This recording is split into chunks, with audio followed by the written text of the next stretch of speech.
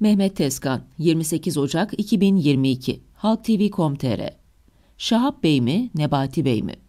Nebati Bey ile Şahap Bey'in geçinemediği, birbirlerini çekemedikleri ortada. Hatta kavgalı bile olabilirler. Biri Hazine ve Maliye Bakanı, öteki Merkez Bankası Başkanı. Görev alanları farklı niye kavga etsinler demeyin. Ankara'da artık kimin ne yaptığı belli değil. Erken kalkan değil ama saraya erken ulaşan borusunu öttürüyor galiba. Biliyorsunuz Şahap Bey 2-2,5 ay önce cari açığı kapatmak gibi kendine yeni bir hedef seçmişti. Aklı başında birçok siyasetçi, birçok iktisatçı yapma etme. Merkez Bankası'nın birinci görevi fiyat istikrarını sağlamaktır. Bunun adı da enflasyonla mücadele dese de dinletemediler. Şahap Bey kafayı cari açığa takmıştı.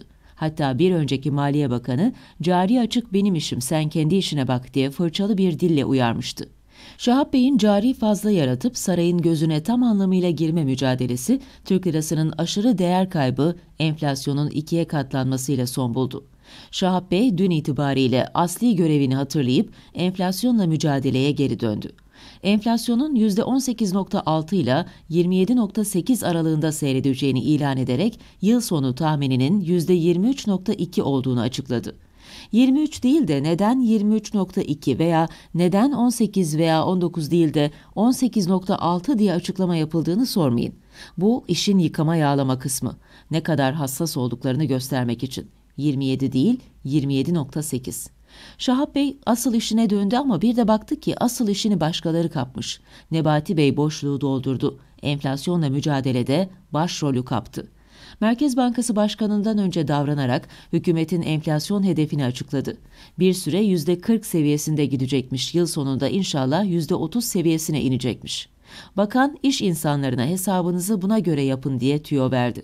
Şahap Bey'in tahminiyle Nebati Bey'in tahmini arasında makas açık olunca kafalar karıştı. Meseleyle ilgilenenler kime inanacağını şaşırdı. Nebati Bey mi doğru söylüyor, Şahap Bey mi? İkisinin de ortak noktası yok değil, var.